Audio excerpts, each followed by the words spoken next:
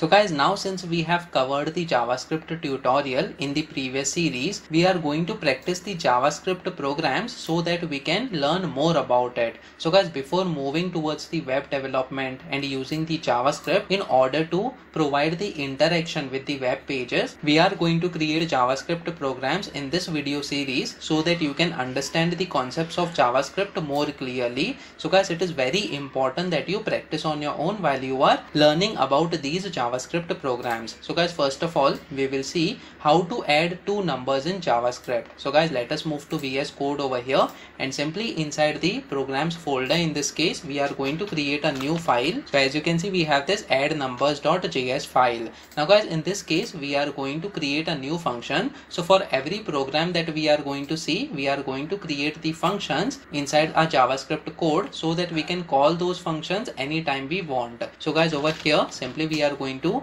create a new function and then we will say add numbers over here which is going to take two numbers as parameter. So let us say we provide num1 and num2 in this case as the parameters for this function that is add numbers. Now guys simply we can provide the return statement that is num1 plus num2 so guys over here we want to add these two numbers that are coming as the parameters for this function that is add numbers. So simply we provide this expression that is num1 plus num2 and then we return from this particular function the result that we get after adding these two numbers. So guys how do we call this particular function? Simply by using the add numbers function name. So guys over here simply we are going to provide the console.log statement and then we will provide the statement that is the sum of 10 and 20 is and then followed by equal to operator and then inside the dollar and the open and close curly braces we are going to provide the add numbers function name over here. So guys basically this is the function that we are going to call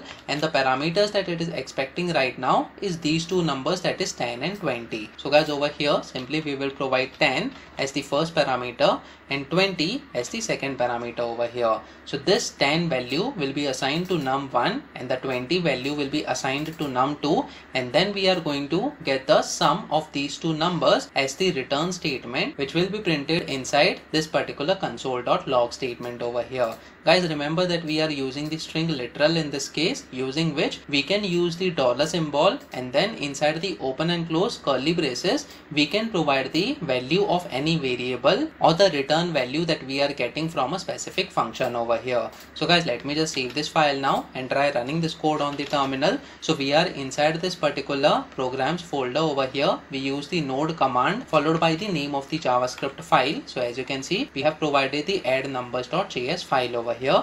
When we press enter as you can see the sum of 10 and 20 is 30 over here which is the correct sum in this case. Now guys simply we need to call this function once again in order to get the sum of the other two numbers. So let me just copy paste this line of code over here and simply I'm going to change the number that is the sum of 100 and 200 in this case is and then we also have to change the parameters that we have provided inside this particular add numbers function. So guys over here we will provide 100 as the first parameter and 200 as the second parameter in order to check what will be the sum of these two numbers. So guys let me just save this file now and try running this code once again over here on the terminal. So as you can see first of all we are getting the sum of 10 and 20 is 30 over here and second time we are getting the sum of 100 and 200 this time. It is equal to 300 right now. So guys basically you can call this function any number of time you want based on your requirement and provide the parameter that is the first number and the second number in order to get the sum of these two numbers. Now guys what will be the output? If we provide the two numbers that is 15 and 25 over here as the first and the second parameter for this add numbers function. Comment in the comment section below what will be the output. Let us see whether your answer is correct or not. Please make sure that you like this video so that it reaches to more people and subscribe to the channel so that you get the notifications on upcoming videos as well. I'll see you in the next video in which we are going to find the square root of a number in javascript. So stay tuned